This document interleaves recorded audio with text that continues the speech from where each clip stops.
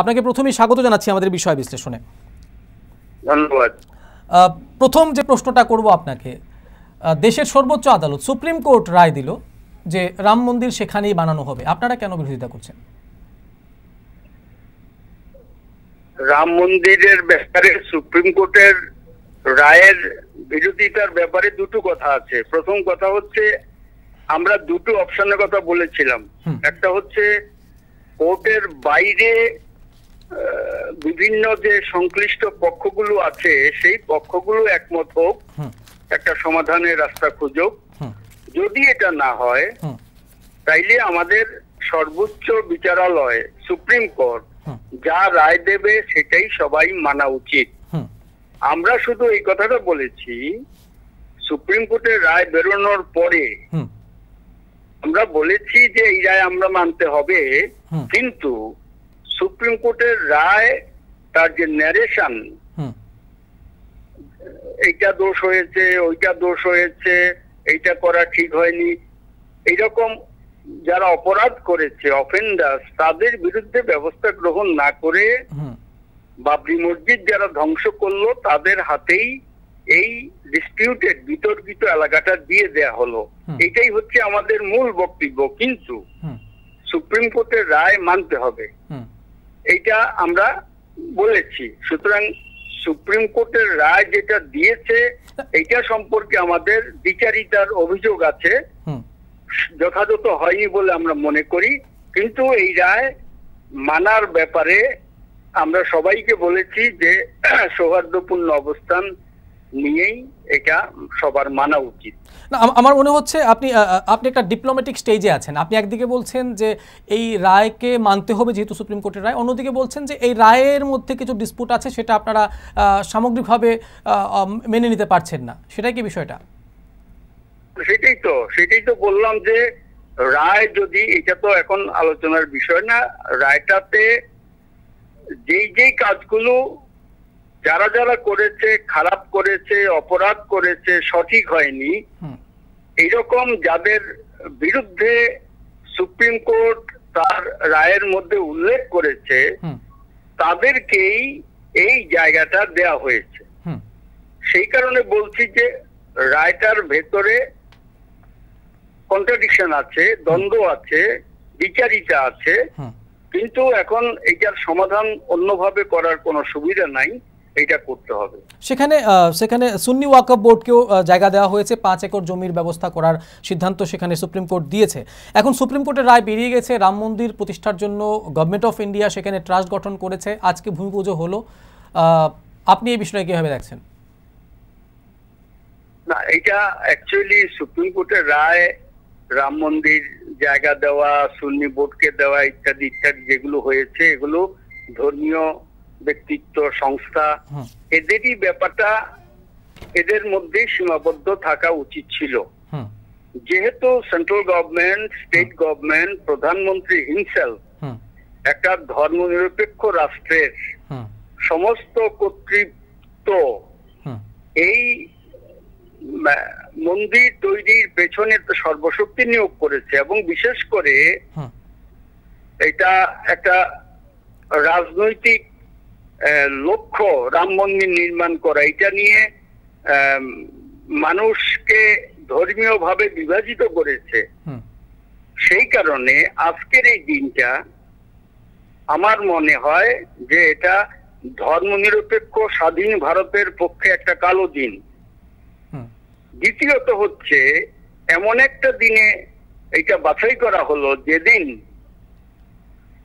জম্মু কাশ্মীর তার তিনশো সত্তর ধারা বাতিল করা হয়েছে পঁয়ত্রিশ ক ধারা বাতিল করা হয়েছে। যেটাও একটা রাজনৈতিক লক্ষ্যকে সামনে রেখে একটা রাজনৈতিক শক্তি এই বহু বছর যাবৎ প্রচেষ্টা চালিয়ে যাচ্ছে। তাদের আকাঙ্ক্ষা পরিপূর্ণ হয়েছে এবং সেই দিক থেকে আমি বলছি যে আজকের দিনে গত বছর এটা হয়েছিল তিনশো সত্তর ধারা বাতিল পঁয়ত্রিশ ক ধারা। ডিগ্রেডেশন করা হয়েছিল স্টেটহুড থেকে। এই দিনটাকেই বেছে এটা করা হয়েছে আজকে জন্মভূমি রাম জন্মভূমি আর রামের রাম মন্দিরে শিলান্যাস করা ভূমি পূজন ইত্যাদি এগুলো করা। তাদের একটা মোটিভ সেখানে কাজ করেছে অর্গানাইজারদের যে একটা উম, যে সাম্প্রদায়িক মেরুকরণের যে রাজনীতি এই রাজনীতিটা আরও শক্তিশালী করার লক্ষ্য সামনে রেখেই এটা করা হয়েছে। এইটাতে দেশের সব অংশের মানুষ এই সম্পর্কে যাতে সচেতন থাকে, যাতে এদের এই ফাঁদে আর পা না দেয়, তার জন্যই মানুষের কাছে আমি আবেদন জানাব, আহ্বান জানাব। কিন্তু বিজনবাবু ভারতবর্ষ একটা ভারতবর্ষে ধর্মের একটা স্থান অবশ্যই রয়েছে এবং আমরা জানি ভারতবর্ষের প্রত্যেকটি রাজ্যে সেখানে মন্দির রয়েছে। তো আজকে এই রাম মন্দিরের স্থাপনের পেছনে আপনি কেন দেখছেন? কি কেন রাজনীতিকে দেখছেন এবং আপনি কেন এটাকে এটা- এটা প্রথম কথাটা হচ্ছে আমি তো বলেছি যে এটা ট্রাস্ট কিংবা সুন্নি বোর্ড কিংবা হিন্দু ধর্মে যারা বিশ্বাস করেন যাদের উপরে দায়িত্ব দেওয়া হয়েছে তারা যদি এই মন্দিরের ব্যাপারে তারা করছেন। মন্দির করুন মসজিদ করুন গির্জা করুন নানান জায়গাতে এটা অধিকার আছে প্রত্যেকেরই। এটা কোনো অসুবিধা না। কিন্তু এই যে টোটাল গভর্নমেন্ট এবং যারা নির্বাচনের আগে মানুষকে এই কথা বলে পোলারাইজেশন করেছে কমিউনাল পোলারাইজেশনের দিকে রাজনীতিটা করেছে সেইটাকেই তারা আজকের দিনে বাস্তবায়িত করল এবং যেই দিনটাতে আরেকটা যে পদক্ষেপ গত বছর নিয়েছিল আচ্ছা। কাশ্মীরের ব্যাপারে সেই দিনটাকে বাছাই করে টোটাল অ্যাডমিনিস্ট্রেশন ইনক্লুডিং প্রধানমন্ত্রী ব্যক্তিগতভাবে নরেন্দ্র মোদী যেতেই পারেন। এটা কোনো অসুবিধা নেই সেটা আলাদা কথা। কিন্তু প্রধানমন্ত্রীর পদে যখন অতীত আমরা দেখেছি যে এই সমস্ত বিষয়ে খুব স্পর্শকাতর কর্তৃপক্ষ ছিলেন। কিন্তু এখানে দেখা যাচ্ছে যে রাজনীতি যুক্ত হয়েছে ধর্মের সঙ্গে। এটাই হচ্ছে মোদ্দা কথাটা। যার যার ধর্ম মন্দির করা উপাসনা করা মসজিদ করা এগুলো ঠিক আছে কিন্তু রাষ্ট্রের কোনো ধর্ম নাই যেটা আমি বলতে চাই রাষ্ট্রের কোনো ধর্ম নাই। যতক্ষণ পর্যন্ত রাষ্ট্রীয় কর্ণধার পদে বিভিন্ন গুরুত্বপূর্ণ পদে লোকরা থাকবেন ব্যক্তিরা থাকবেন তখন তাদের এই প্রকাশ্য স্থানে কোনো বিশেষ ধর্মের প্রতি যে তার অনুরাগ দেখানো এইটা ধর্মনিরপেক্ষ রাষ্ট্রের যে সংবিধান সেই সংবিধানের সঙ্গে সামঞ্জস্যপূর্ণ না সেটি আমি বলছি। এটা তো এই না যে ধর্ম কেউ মানবে না মন্দির কেউ করবে না মসজিদ কেউ করবে না সেটা আমি বলছি না। আপনি বলছেন হিন্দু, মুসলিম পোলারাইজেশনের সেখানে চেষ্টা হচ্ছে। কিন্তু বিজেপির তরফ থেকে বলা হচ্ছে যে এই নরেন্দ্র মোদী সরকার গঠিত হওয়ার পর মুসলিমদের জন্য, বিশেষ করে মুসলিম যারা নিবাসীরা রয়েছেন দেশের, তাদের জন্য বিভিন্ন কাজ করা হয়েছে। তিন তালাক থেকে শুরু করে এমন বিভিন্ন পদক্ষেপ রয়েছে যারা মুসলিম সম্প্রদায়কে কেন্দ্র করে তাদের হিতের জন্য এই নরেন্দ্র মোদী সরকার পদক্ষেপ কিন্তু গ্রহণ করেছেন, সেটা কিন্তু বিজেপির তরফ থেকে বলা হচ্ছে।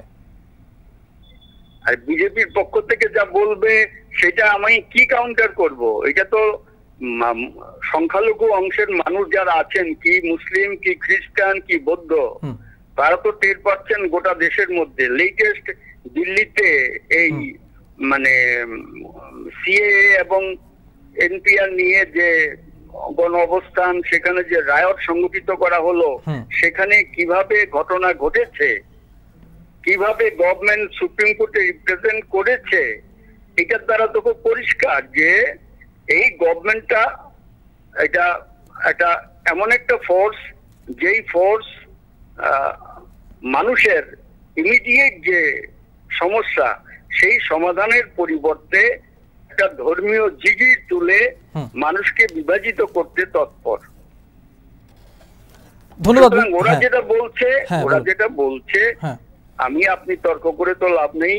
এই অংশের মানুষজনই বুঝতে পারবে যে আমাদের দেশের সংখ্যালঘুদের অধিকার কতটুকু রয়েছে, সেটা তারাই বুঝতে পারবে। বিশেষ করে উত্তরপ্রদেশ, এটা তো মানে ঘটনা বিভিন্ন সময়তে এটা আমরা দেখেছি। সুতরাং ওরা তো বলবেই এসব কথা।